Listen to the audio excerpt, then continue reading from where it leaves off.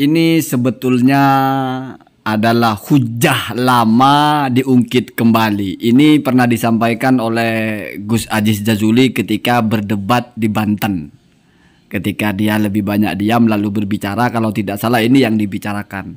Catat ya, saya mengikuti dinamika ini secara detail. Jadi saya tidak pernah kehilangan fokus ya. Dan selama ini saya mengikuti saja, ya tidak pernah mengeluarkan jurus macam-macam ya. Jadi Gus Jazuli membacakan kitab di sini ketika ada ulama ya Sayyid Arifai ini ya nama lengkapnya ada di situ menyebutkan bahwasanya Ahmad itu punya keturunan banyak sekali di Yaman kama yukolu sebagaimana dikatakan. Lalu dioplos dengan teori dalam ilmu hadis bahwasanya kalau yukolu itu sirot tamrid. Sirot tamrid itu maksudnya tidak jelas gitu ya biasanya kalau ulama hadis menggunakan mabni maf'ul begitu atau versi kalimat pasif itu biasanya untuk menyatakan lemah.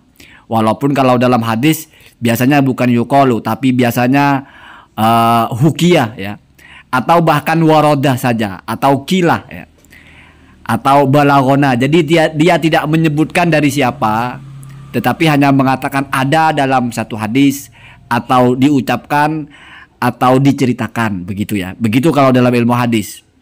Begitu juga dalam fikih kalau bahasanya itu memakai kilah berarti pendapatnya itu doif atau lemah.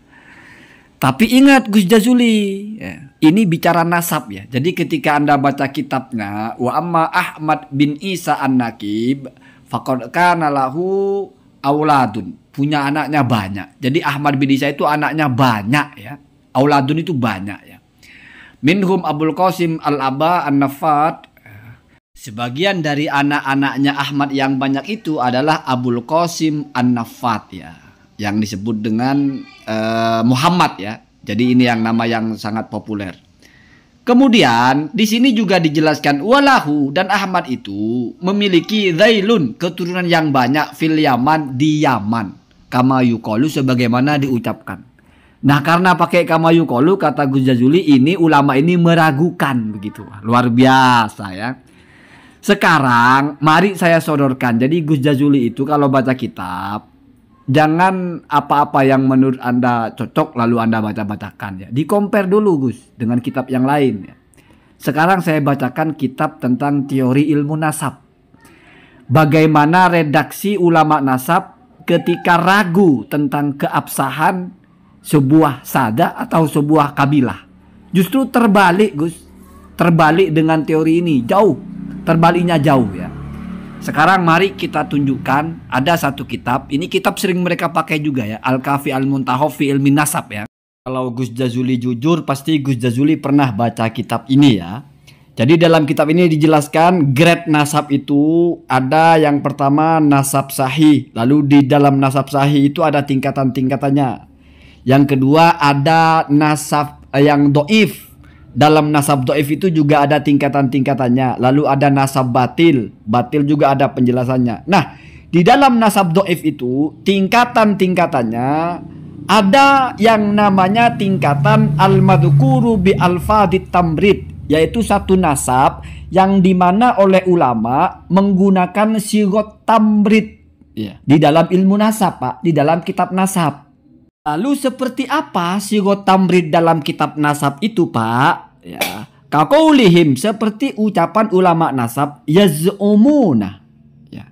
Jadi orang-orang atau kabilah ini menyangka atau bahkan yaddaunah mengklaim. Jadi kalau ada ulama nasab mengatakan bahwa maman yaddai atau yaz'umu oh berarti itu masuk kepada nasab yang lemah karena menggunakan sigot tamrid. Ingat Pak, nasab lemah pun ya di dalam ilmu nasab itu masih masuk kepada sabata syar'an.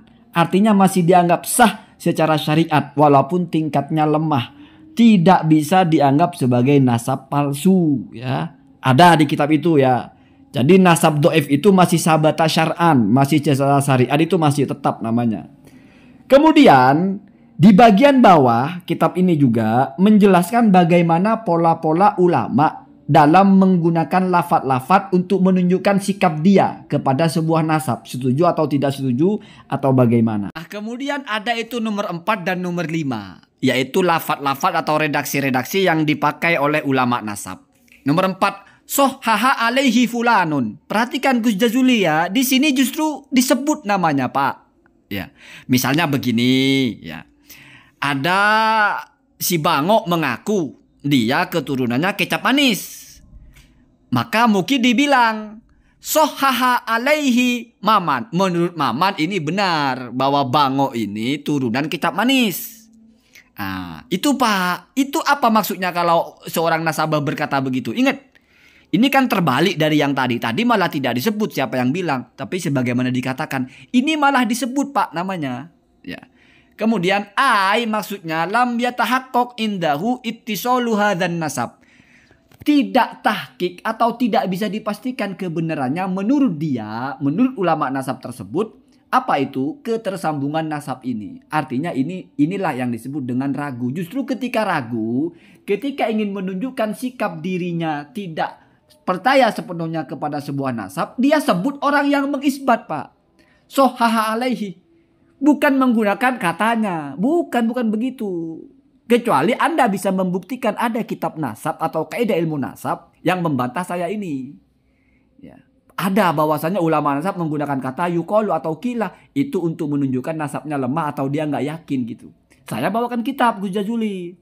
Kalau Anda bantah dengan gigi gerham sendiri repot saya ya. Kemudian yang kelima.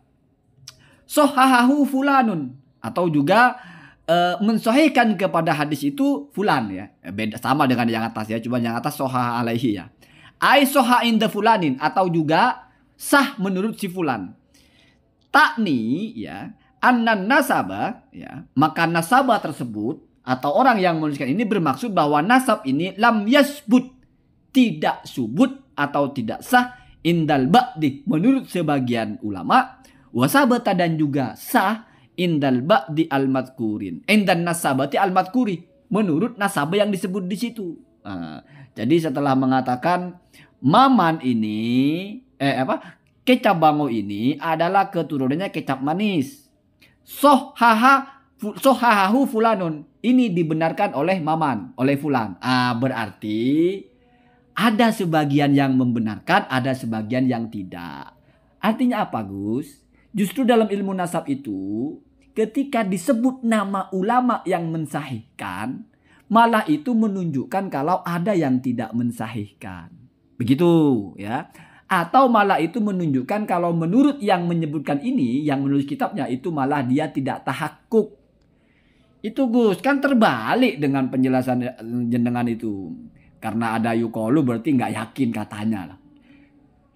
Ini kan ilmu nasab disusun ya. Bahasanya kan alfadu an nasabin, lafat-lafat para ulama nasab. Ini diteliti sudah Gus. Jadi begini Gus cara memahami kitab nasab. Jangan menerawang-nerawang sendiri, ya, ngerti-ngertiin sendiri, memframing, ya. Lagi pula, misalnya ulama itu ragu, apa dia membatalkan, Gus? Terus kalau dia membatalkan, apakah di situ ulama um, kalimatnya sore gitu? Saya menolak nasab ini. Ini nasab palsu. Kan enggak Gus. Ini ini maksa ya. Jadi seperti orang yang sudah kehabisan dalil ya. Dalil-dalil receh dipaksa-paksa. Ini yang bikin saya turun adrenalin untuk menanggapi mereka ini. Ya hatta sekelas keimat juga hujannya muter-muter di situ. Enggak ada kitabnya, enggak ada kitabnya. Itu aja. Jadi semua ilmu itu tumbang di mata keimat dengan Gus Jazuli ini. Cuma mereka yang benar. Kan lucu orang ini ya. Dia baca kitabnya orang abad ke-9 karena sedang meragukan menurut dia. Sementara kitab yang meyakinkan, oh salah itu. Azabidi salah karena karena menyebut secara sore ashraf. Uh, Al Ibnu Hajar, oh nasabah apa bukan? Ketika nemu kitab yang menurut dia meragukan, oh dibaca. Ini hujat apa le ya? Begitu ya. Ini saya baca kitab nasab. Kalau Anda mau bantah konten saya, bacakan seperti saya baca ya. Jangan terlalu banyak interpretasi sendiri karena sepertinya Anda belum layak lah ya. Mensarah kita belum layak ya, belum layak menyampaikan pendapat sendiri. Harus ada dabingannya. Kalau Anda anggap itu kalimat yang menunjukkan keraguan, mana dasarnya kalau ulama nasab menggunakan kata yukolu itu adalah untuk keraguan. Gitu. Sementara saya sudah bisa buktikan bahwa ketika ulama nasab ragu, justru dia menyebut nama orang yang mensahihkan. Gitu Gus ya. Allahumma hadina hadasabil.